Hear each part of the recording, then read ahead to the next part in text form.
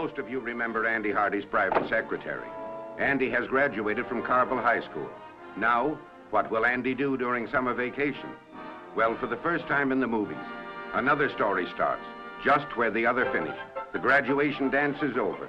Andy has taken Polly home, and now, here we go, into the brand new story. Life begins for Andy Hardy. Good morning, Andrew. Oh. Good morning, Dad. You're up awful late, aren't you? Aren't you getting home kind of late? Having graduated from high school, I've got a right to stay out as late as I want. Haven't I? Well, obeying your parents is now kid stuff, eh? Well, certainly not. Not about the important issues of life. Gosh, it's hot tonight. Andrew, I want... What in the name of common sense is all that?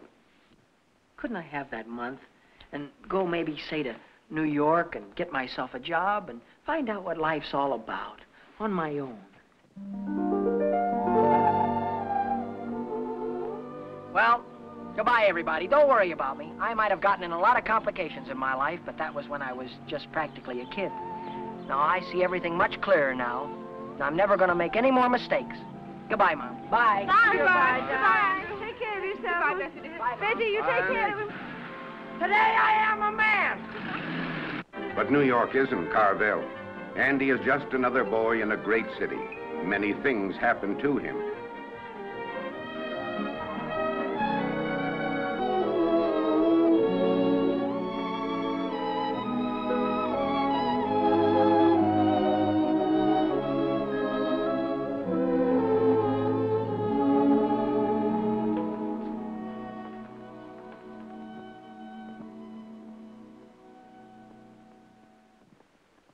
My, but this place has poisonous rules.